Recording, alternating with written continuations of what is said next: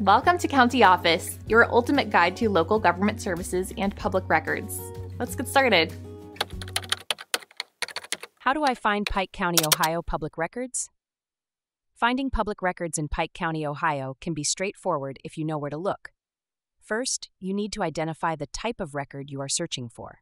Public records can include birth certificates, marriage licenses, property deeds, and court records. For birth and death certificates, visit the Pike County Health Department. They are located at 14050 US 23, Waverly, OH 45690. You can request records in person or by mail. Make sure to bring a valid ID and the required fee, which is typically $25 per copy. If you need marriage or divorce records, head to the Pike County Probate Court. They are located at 230 Waverly Plaza, Waverly, OH 45690. Marriage records are available from 1800 to the present. Divorce records, however, are maintained by the Pike County Clerk of Courts. For property records, visit the Pike County Recorder's Office. They are located at 230 Waverly Plaza, Suite 100, Waverly, OH 45690. You can search property deeds, mortgages, and liens here.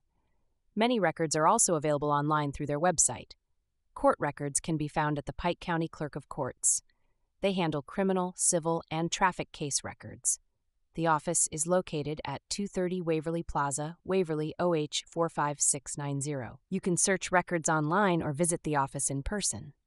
For more detailed searches, you might need to visit the Pike County Public Library. They offer access to historical records and genealogy resources. The main branch is located at 140 E Mainst Waverly, OH 45690. When requesting records, always verify the specific requirements and fees. Some offices may require a written request or specific forms. It's also a good idea to call ahead to confirm office hours and any COVID 19 restrictions.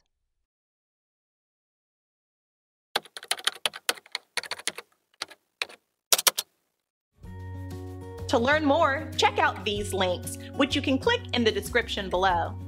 And feel free to comment your questions. We're here to help. Thanks for tuning in to our video. Please like and subscribe and leave a comment below. See you in the next video.